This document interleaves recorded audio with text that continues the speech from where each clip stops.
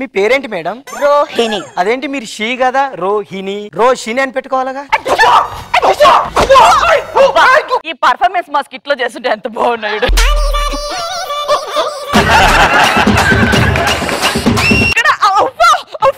మా స్కిట్లోనే